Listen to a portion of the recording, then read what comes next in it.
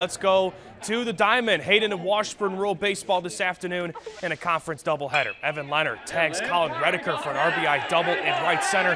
Hayden grabs the game's first run in the first. A bottom two, Aiden Roberts is going to draw the bases loaded walk. It's 2-0 Wildcats. Cade Mitchell, he's going to do a job here. Lines out to center for the sac fly RBI. Hayden up three. That same inning, Gavin Payne, he's going to throw a strike to, to second to catch Hayden trying to steal a bag. But after that, both pitchers showing their nasty stuff. Cooper Grace getting two punch-outs in the fourth, but Redeker spins that up with striking out the side in the bottom half with a couple nasty curveballs. This one needed 10 innings. Rural's going to win 9 to 6.